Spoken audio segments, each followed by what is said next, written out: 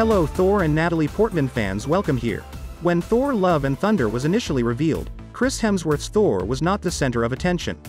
Jane Foster, played by Natalie Portman, took the stage immediately after it was announced that her character would not only be returning to the MCU, but would also be harnessing the might of Mjolnir herself.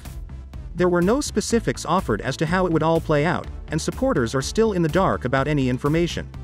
Jane was seen visiting the place where the legendary hammer was smashed in early set images, prompting many to believe that this may be the moment she receives her new presence. Her character was previously released promotional material that showed her in full outfit, complete with Mjolnir. Furthermore, the hammer appears to be made up of all of Thor's prior weapon's original fractured remains, all patched together and held together by an unknown force. Fans now have a brand new hint as to what to expect when Jane Foster ascends to godhood.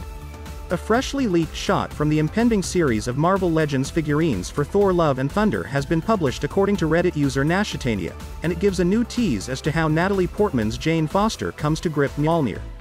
The description on the back of her figure's packaging mentions that Jane Foster's life is forever changed when she mysteriously comes to possess the hammer Mjolnir, and the power of the mighty Thor.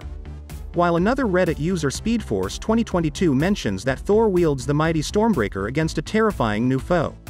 The revised explanations don't include any very detailed facts that fans may have been looking for, but they are still useful. Jane's god-level strength appears to emanate from Mjolnir itself, not from someplace else, as the phrase when she mysteriously comes to possess the hammer Mjolnir suggests. While this hasn't been verified, it's a safe bet that the hammer in her hands is the broken remnants of the one Hela smashed in Thor Ragnarok. But what might prompt the hammer to not just reorganize but select Jane Foster as its successor? Fans will have to wait until July 8 to find out all of the answers when the film opens in cinemas. Hopefully, a trailer for the film will be released before then, showcasing Jane Foster's God of Thunder in all her live-action majesty. Please like this video and subscribe to my channel. See you soon.